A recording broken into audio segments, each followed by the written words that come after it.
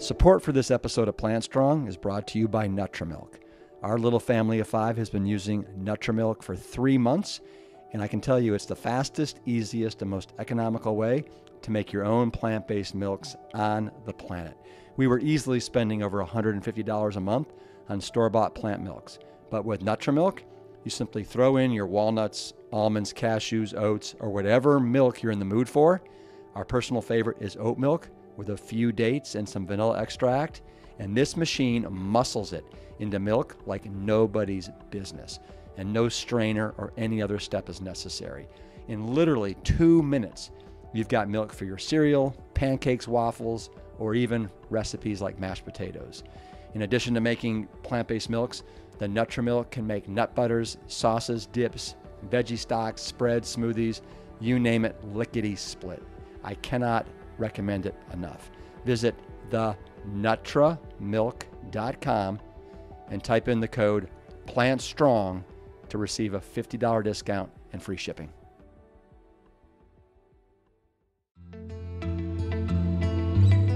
This is a diet uh, of death, as far as I can see, Mm-hmm. as far as the diseases it's going to spawn. Well, it's not only a diet of death, it's a diet where you're eating death. Uh, absolutely, yes. Uh, it kills the animal, it kills the people who eat it, and it's going to kill this planet too. Uh, I mean, there, there's if they think that this paleo diet is the best diet and everybody should be eating paleo, they're talking about a flesh-based meal three times a day for eight billion people on this planet. It's going to destroy the entire ecosystem. It's, it's a totally arrogant, unsustainable elitist type of, of approach to uh, to nutrition that has no basis either in scientific fact or, or in medical common sense.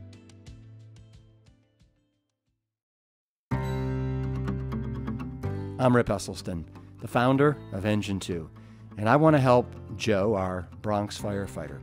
I want to give him the support, the information, and the motivation that he needs to make the decisions that are going to save his life, and I want to give them to you too. Welcome to Plant Strong.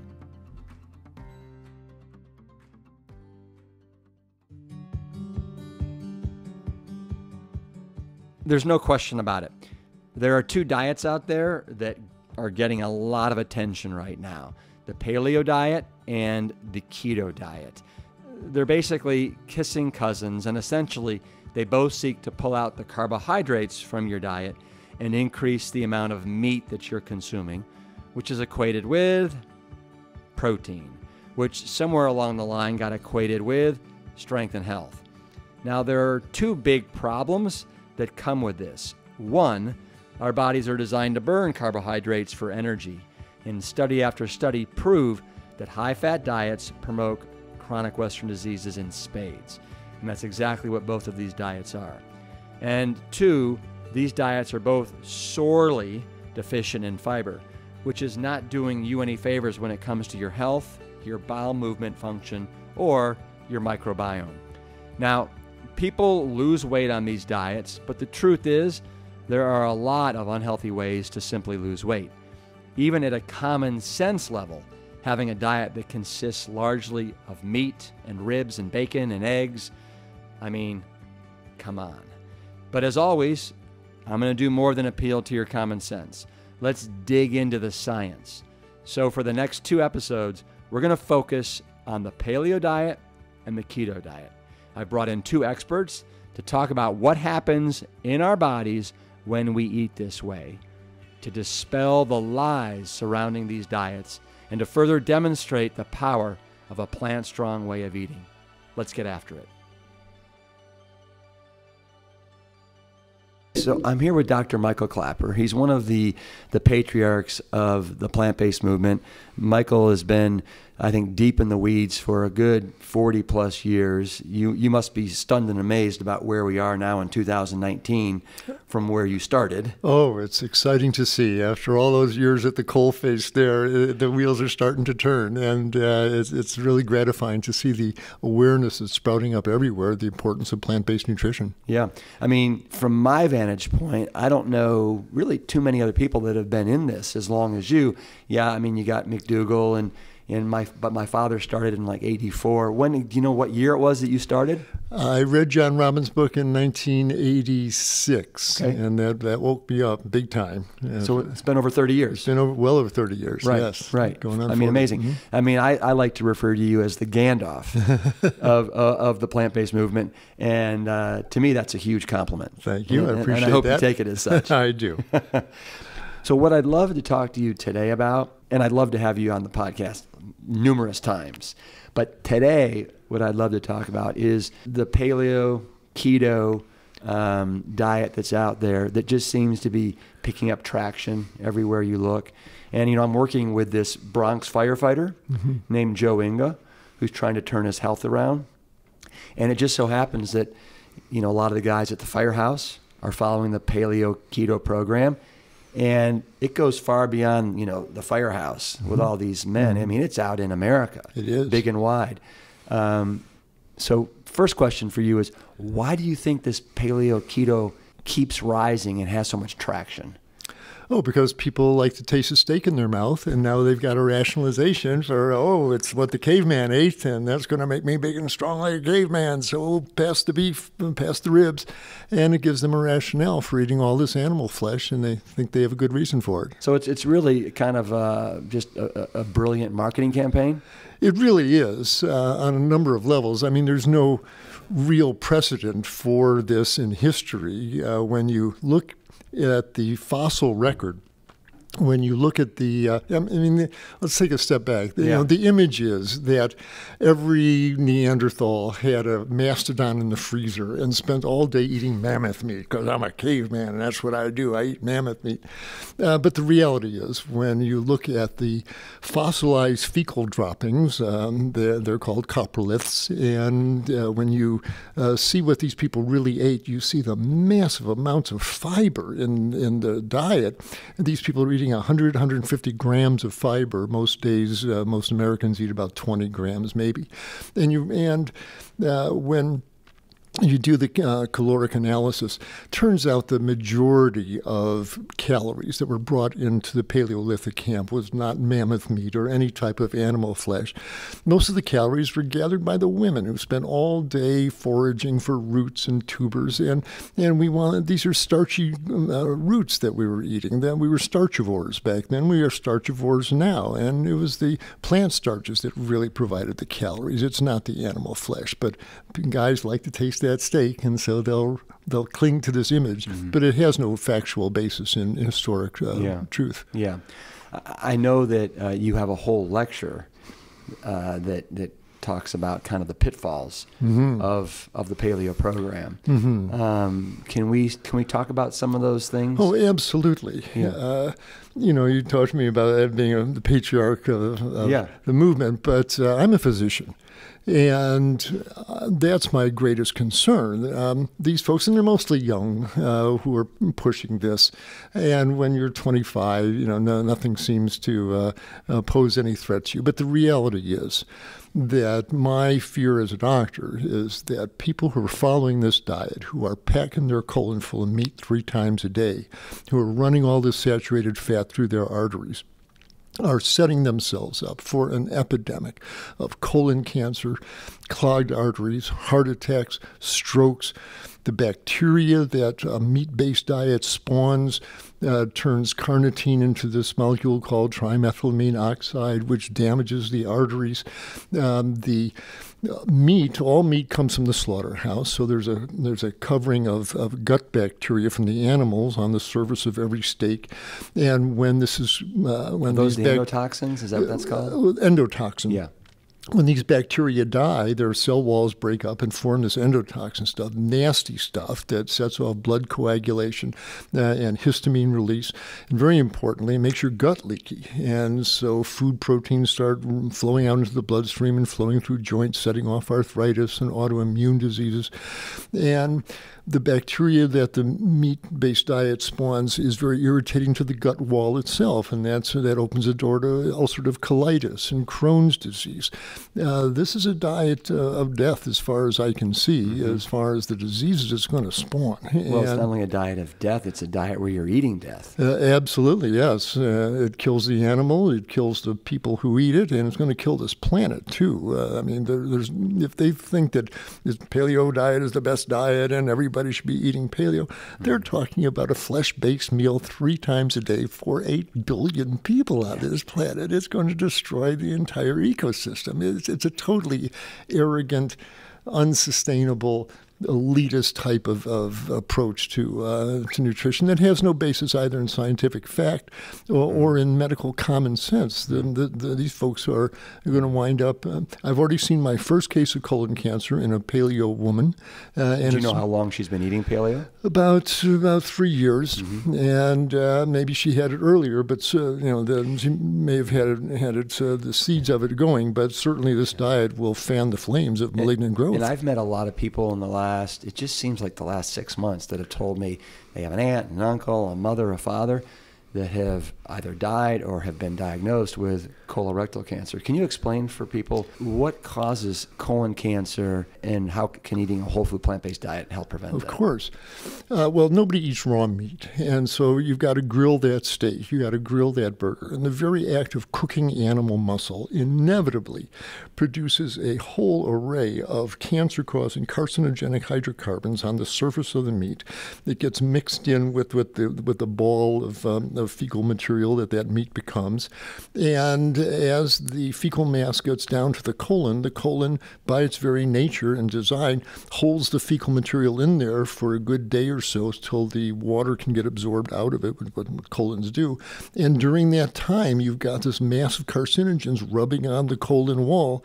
And due to the shape of the colon, it winds up in the same spot all the time. Every fecal mass winds up in the same So it's almost like causing a blister of sorts? Yes, or, in a or, way. or a callus? Like uh, yeah, or uh, uh, like scraping uh, scraping your knee, and uh, it's a raw area there. But you do this month after month, year after year, and you keep angering those cells with carcinogens. They'll, they'll respond by spouting out a, a cancer. And, is that, is, and so is the first sign then a polyp?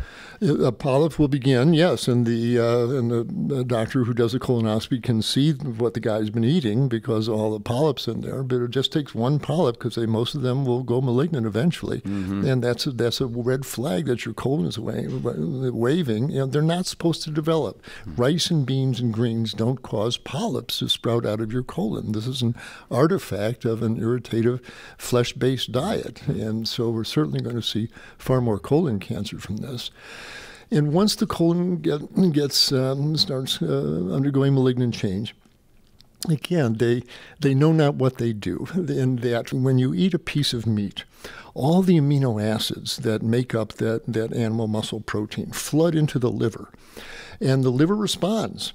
Uh, like Dr. Greger says, it's like giving an eight-year-old boy a, a box of Tinker Toy parts. What do you think he's going to do? He's going to build something with it, and and the body responds the same way. You flood the amino the, the all these amino acids into the liver, the liver responds, and it responds by putting out this hormone called insulin-like growth factor one (IGF-1). This is the most powerful growth-promoting hormone in the body.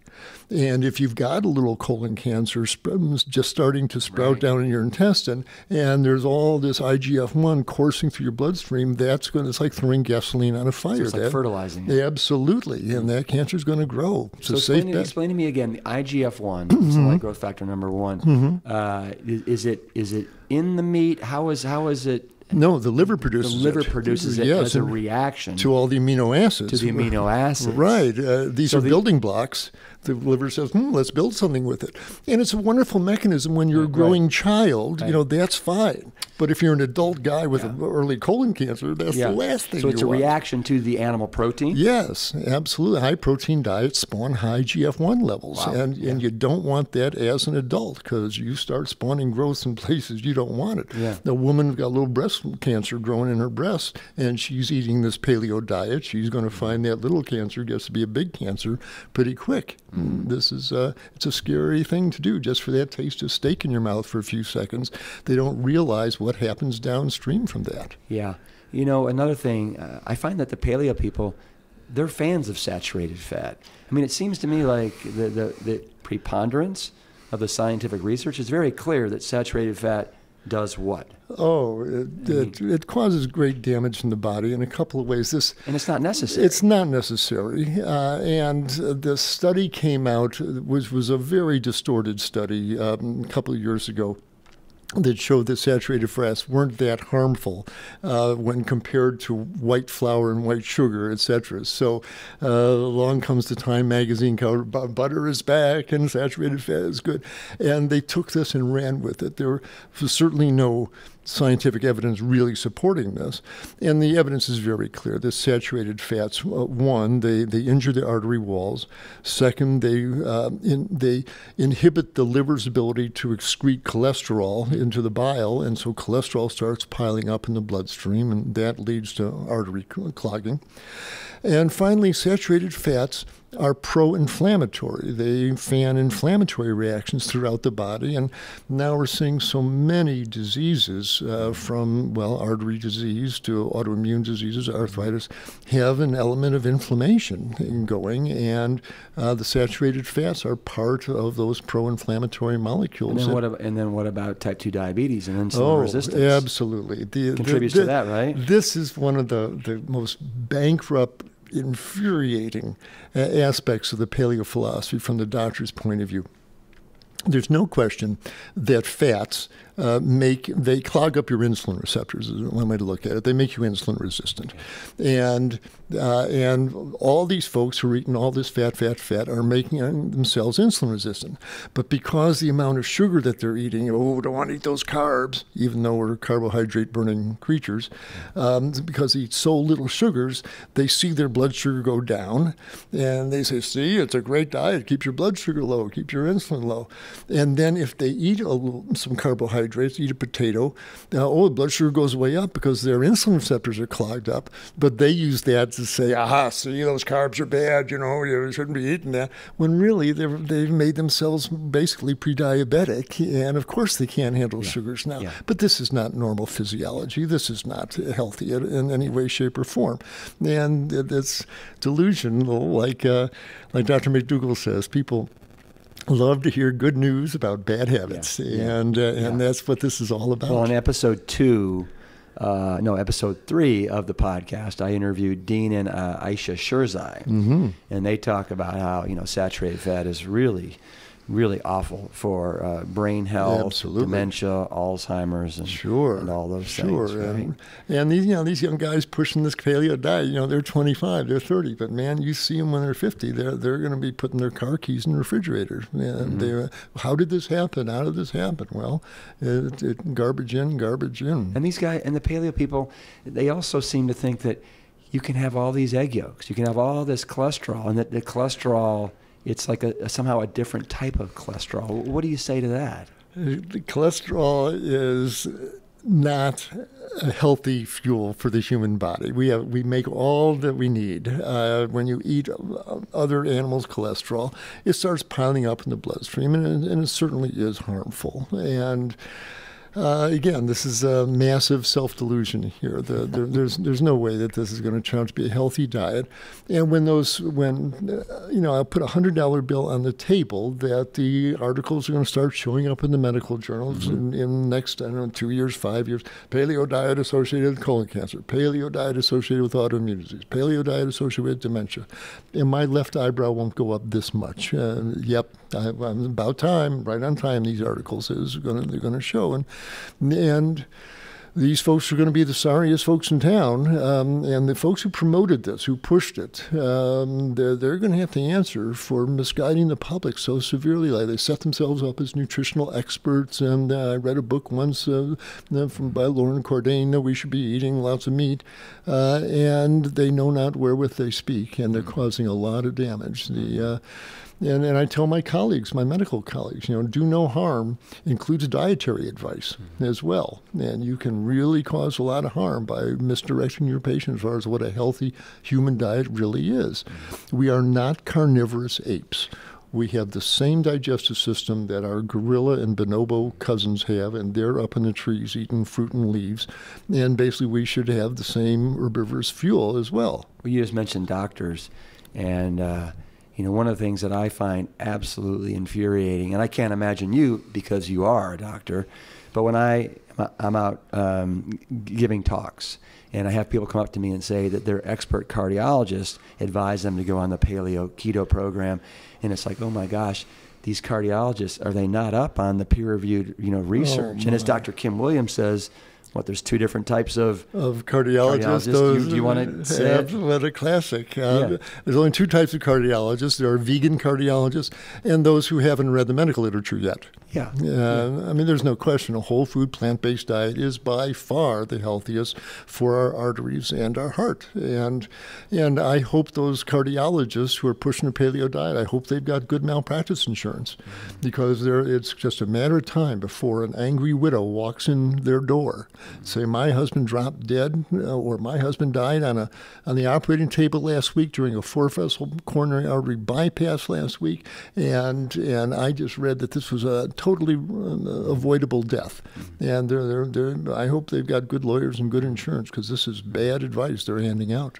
Can let's let's talk for a sec about some of the the bad substances that are in meat, whether it's red meat, chicken, Mm-hmm. Sure. fish, eggs, or, Sure. you know, kind of all these animal products that are so popular in the Mm-hmm. in, in the paleo keto keto programs. And I think you've already mentioned animal protein. Yep. Um, we talked about cholesterol. Yep. We talked about saturated fat. Yep. What else do you want to add to the list? You, you said TMAO. Indeed, Uh-huh. absolutely.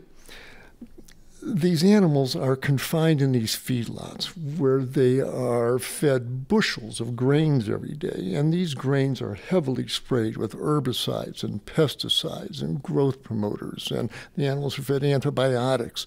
The, the, and these are fat soluble molecules that wind up mm. in the in the animal's flesh, and you run into this phenomenon of bioconcentration. And and week after week, that poor cow or that poor steer is, is eating all these sprayed corn and soybeans, and these pesticides and herbicides are, are concentrating in their in their in their muscles and in their uh, fat. And every time you bite into that burger or you chew on that chicken leg, you're getting the, the bioconcentrated herbicides and pesticides. They feed these animals antibiotics, lincomycin and erythromycin and tetracycline. That that winds up on your dinner plate as well. And the water that they give these animals to drink is not pure water. It's contaminated with heavy, heavy metals, heavy metals, lead, cadmium, arsenic, mercury. That winds up in the animal's muscle. It- It's a foul piece of flesh that Mm-hmm. that is being sold to the public as oh, our Paleolithic ancestors ate this. Well, no, they didn't. Mm-hmm. And meat was a rarity in, in their diet by and large. If they, you know, you got this image of you know people feasting on the on the mammoth carcass. But the truth is, if they, uh, most hunts were unsuccessful. Most times the guys came back empty handed. Nine out of ten times the hunts were unsuccessful. And if you had a starving infant at home, uh, they're, they're, they're, you're going to starve to death if it weren't for the, for the starchy gruels that the uh, women were making up uh, to keep us all alive. And if they did manage to snag a, uh, uh, some animal and drag the carcass back into camp, there was no refrigeration. It rotted within days and it became dangerous substance to eat. And uh, the, the idea that this was, uh, you know, the, the best food that we could be eating, certainly today's version of meat uh, is, is far from healthy, that's for sure.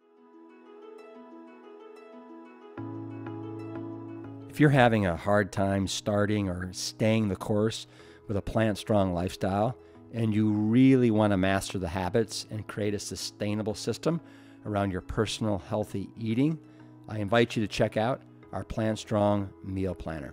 I am really pumped up on this platform.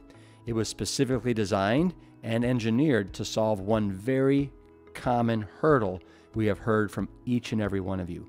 How do you make plant based eating easy, convenient, and delicious? We came up with the solution.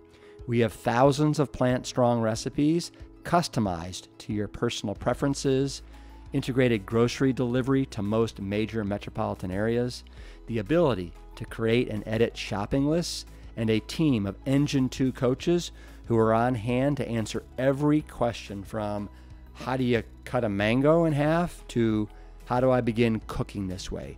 No matter how silly the question, we are on hand to help. And all of this is available for a buck 90 a week when you sign up for a year. We get emails from people every day saying how this has changed their life and it's made going plant based so much easier. I hope you'll let us help you and your family fall in love with this way of eating. To learn more, sign up at mealplanner.engine2.com or click on the meal planner on our website, engine2.com.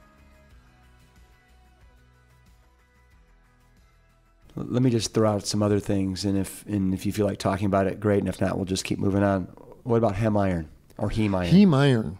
That's another one. People think, you know, they've got this image that, oh, iron makes for hemoglobin, makes for big muscles, and yay, that's a, it's a good thing. Well, it's not, it turns out. Um, there's two kinds of iron uh, in, in the diet.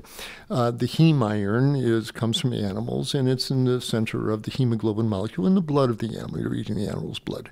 Uh, and uh, then there's non-heme iron that's found in plants, and spinach and green vegetables have um, have iron. So what's the difference? Well, without getting too much uh, into the biochemistry, the problem is that too much iron is not healthy. Iron is an oxidizing agent. You see that on your car bumper. Uh, iron will oxidize, and you don't want iron overload in your body. Mm. Well, uh, heme iron comes into the bloodstream and into the body without any throttle uh, placed on it uh, by the intestine. The intestine just lets all the heme iron in that you eat. Well, it starts uh, accumulating in the walls of the arteries, uh, in the bone marrow, and oxidative damage starts happening, and this, this injures the artery walls, and one of those things that contributes to artery damage.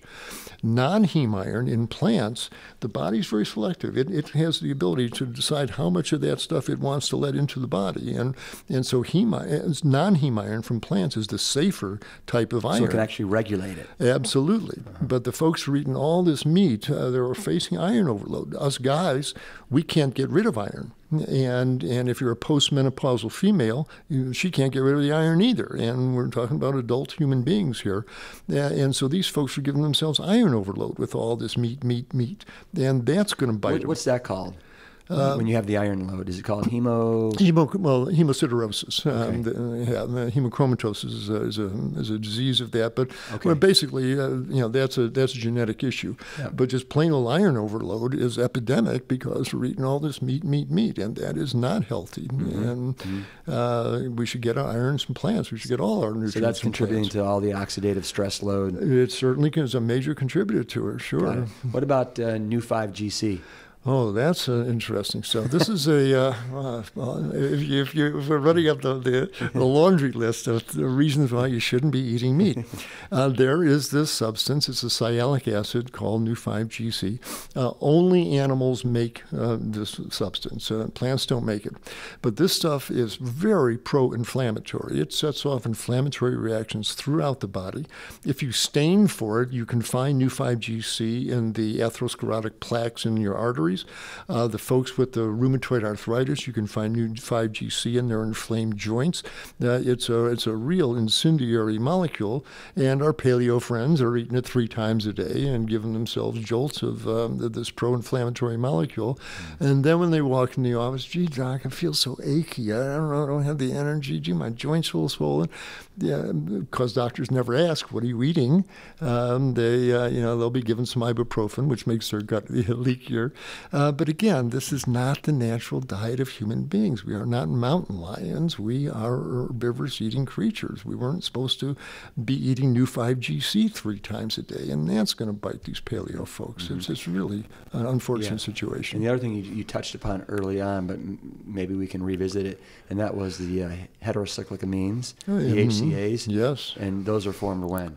When you cook meat. Any uh, meat. Any meat, uh, whether it's fish, whether if uh, we're grilling that salmon or uh, barbecuing that chicken or grilling that steak, you are creating these nasty polycyclic hydrocarbons, yeah. and they are carcinogenic, no question about it. So basically, those char marks are like carcinogen marks. That's exactly what they are. And when you think about the, you know, as soon as you eat it, uh, you know, you're smearing carcinogens around the back of your throat, and slides down your esophagus into the stomach, uh, and uh, then out the small intestine. But you wonder about the oral cancers we see, the esophageal cancers, the stomach cancers. Well, how much of this is from smearing uh, cooked animal muscle on your on your tissues mm-hmm. two three times a day? that are full of carcinogens. Mm-hmm. So, yeah, we don't get away with anything. Another thing that uh, I know you talk about is the, the, the high level of methionine.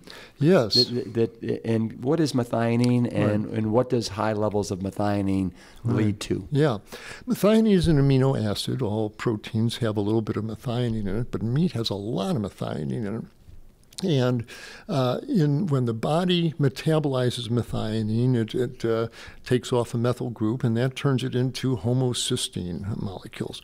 And uh, this is not friendly stuff. This mm. stuff is very irritating to the artery walls, and it, it along with the heme iron and uh, Neu5Gc is one of these pro-inflammatory molecules that inflames the walls of the arteries. And people who walk around with high homocysteine levels wind up with clogged arteries and heart attacks and strokes. And uh, again, another sign from our metabolism, we shouldn't be running a lot of animal flesh through our bloodstream. Uh, you don't want a bunch of homocysteine that comes from this methionine ingestion. Mm-hmm. So another reason, another red flag. It just seems like these these these red flags are just popping up all over the place. Absolutely, and yeah, and the paleo guys put on their blinders and oh well, my caveman ate it. Well, yeah, the caveman died at age thirty or yeah. so. That's the point. I don't want to, their lifespan. Yeah. Thank you. Yeah. And you also, I, I know that you know I, have heard a lot about how hard. Um, eating a, paleo keto type of diet is on the bones. Mm, yeah. Can you address that? Well, sure. Um, these are very acid promoting diets. Meats uh, turn into uh, acids on various levels, uh, and uh, it, it's an acid forming diet. The, there's a lot of sulfur containing amino acids, methionine being one of them, but cysteine, cysteine, homos, uh, uh, taurine, these are very abundant in animal flesh, and they all have a little atom of sulfur. And so you put sulfur in water, turns into sulfuric acid, sulfurous acid. So this is, this is a high acid load diet, a flesh based diet. Well, as all this acid flows through your bones, um, your body's got to neutralize its acid somewhere, and it does it by by dissolving the bones, and the calcium and phosphorus that comes out neutralizes the bones, but mean, neutralizes the acid.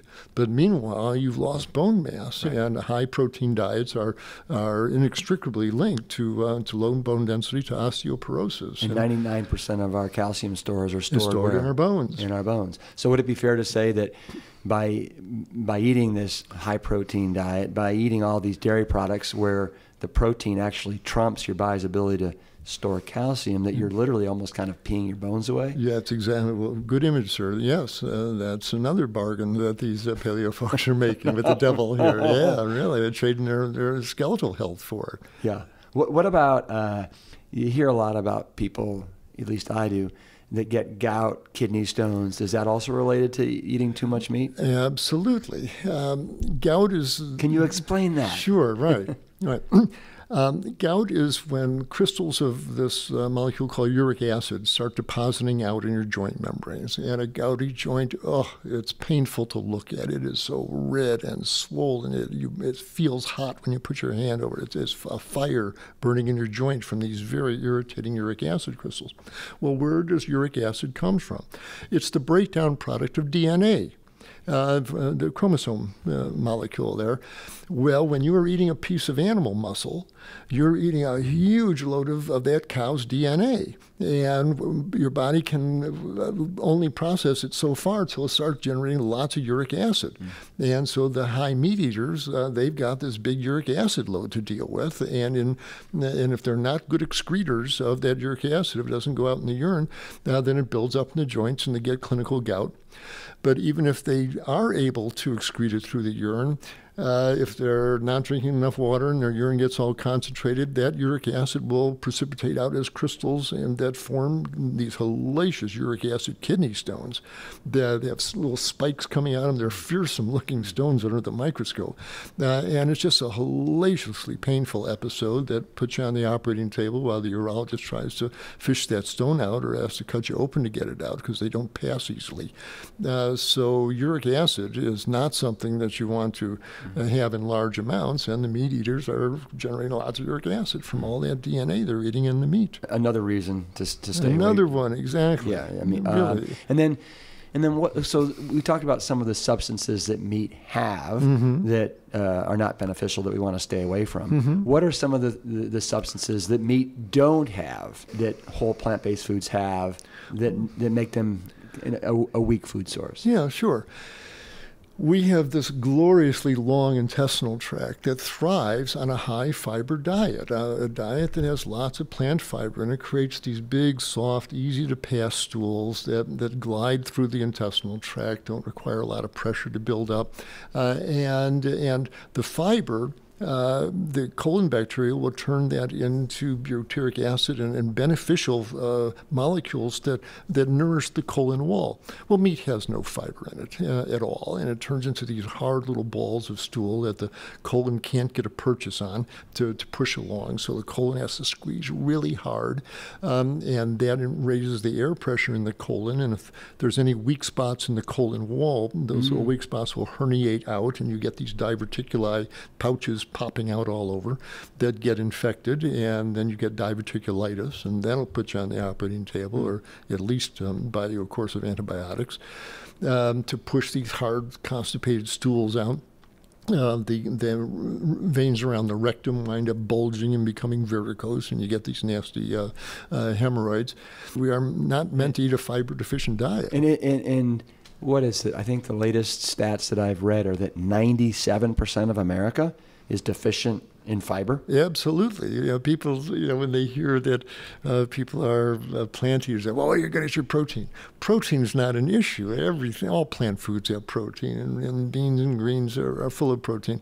The real issue is where you're going to get your fiber. Yeah. And and meat and dairy products uh, have none of that to offer. No, and to no. base your diet around a flesh-based diet is buying yourself a fiber-deficient diet that's uh, going to bite you. And the other thing that meat doesn't have that the paleo people actually tout as Mm-hmm. being good are carbohydrates. so I mean, can you speak to that? Which Oh, which, which, my. which is, is it's kind of ludicrous, but but tell me if but they find a little bit of a shred of truth. Uh-huh, sure. and, and you and I both know that 90% of America's carbohydrate consumption is coming from refined carbs that are bad. Yes, absolutely. Trashy. They're right.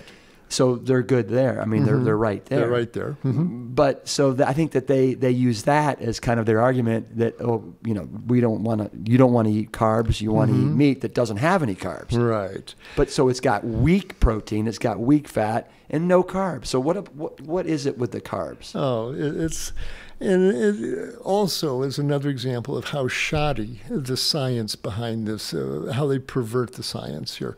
Um, there's no getting away from it. We are carbohydrate burning organisms. The Krebs cycle enzymes in your mitochondria burn glucose. We are sugar burning organisms. Fat is an emergency fuel. When, when there, there were no berries on the, on the, on the bush there uh, during our foraging days, we had to dip into our own fat stores. Uh, and and you can get by for X number of days on that, but that is not our daily fuel. Our daily fuel is carbohydrates. Now, the problem is the conflation that you just mentioned the paleo folks are right. The Oreo cookies and, and granola bars and Twinkies, oh, those are full of carbs. Well, yeah, those are refined sugars, but it's it's really fallacious and a bit scurrilous to take the big broad brush of carbohydrates and tar. Uh, not only the Oreo cookies, but include apples and bananas and kale and these are all high carbohydrate foods. All plant foods are high in carbohydrates, but that's what stems and leaves and roots are made of.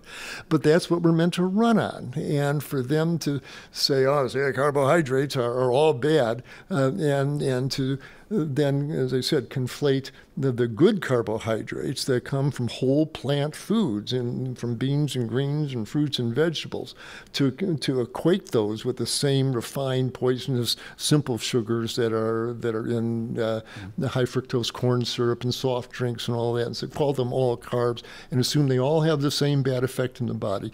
That's scientifically scurrilous. Yeah, Uh, yeah. That, that's outrageous. Well, it's that they do egregious, isn't it? Yeah, pardon me? It's egregious. It's egregious, absolutely. And it's dishonest. Yeah. And, and it's sloppy science. It's not even science, it's propaganda. Yeah, yeah. So people un, unwittingly Mm-hmm. they are, are are doing the paleo keto and they're depriving themselves of The very fiber and the very high, good carbohydrates our body really requires. To, to, to be supremely healthy. Absolutely, absolutely. Look at all the plant-based athletes. You see all the Yeah. rippling muscle and all these fabulous athletic these guys do on plant-based diets to uh, to, Yeah. to negate that in any way is And- just outrageous. Yeah. And then, and then you know to take it a, a step farther, Mm-hmm. you've got these books that are being written about you know grain brain and how grains are, I uh, grains and bread are just so absolutely awful. Um, they talk about you know uh, I mean they're bashing beans and and, Oh. and and grains because of lectins and lignans. Uh, do you know anything about that oh, stuff? Yeah, and people, uh, these docs like to sell books, so they make these outrageous claims. And it's really disheartening to see my profession prostituting itself uh, through these guys um, who uh, oh, don't eat uh, don't eat beans; they have lectins. Well, people have been eating beans for you know thousands of years, and when you look at the blue zone diets around the world, people who live to be over 100, they all eat legume, they all eat beans. So if lectins uh, on beans were that toxic, uh, then none of these people would make Well, it to and, 100. and, and once you heat them up, the lectins, the are lectins are, basically gone. gone. They, they, yeah. they all disappear. Who And eats when their beans raw? Nobody should be eating raw beans. And as you, as you cook the beans, the lectins disappear. And Yeah. uh, again, they're, they're just spawning fear. I think everyone will agree that Dr. Klaper knows the body and how it's supposed to work. Today, he has systematically dismantled any pillar the paleo diet is trying to build upon. It is, as he says, all propaganda. But one thing I want to mention that we shouldn't brush over, there's a keto phenomenon. Oh, That's- that's, that- even worse. Next week, we'll talk more with Dr. Klaper about the keto diet from his perspective as a physician. And then we'll take a deep dive with my friend, Dr. Doug Lisle. He'll share his view on the keto diet as an evolutionary psychologist. And spoiler alert, it ain't pretty. Doug will laser in on why ketosis is no shortcut to health. Instead, it's overriding our body's divinely designed system. And like any beautiful machine, it will break down and overheat on a dirty ketogenic fuel source. Let's fillet the notion that paleo or keto are good ideas because they aren't.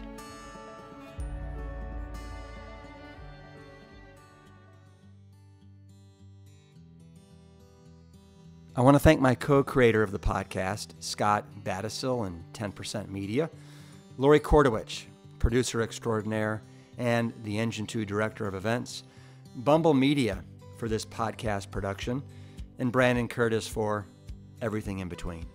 Thanks to Whole Foods Market for believing in me and giving me a platform for the last 10 years.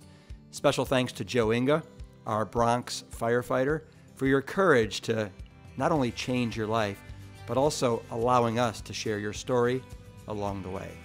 And lastly, I want to thank my father and mother, Dr. Caldwell B. Esselstyn Jr. and Ann Crile Esselstyn, as well as all the Plant Strong pioneers who have been pushing this boulder uphill for more than three decades.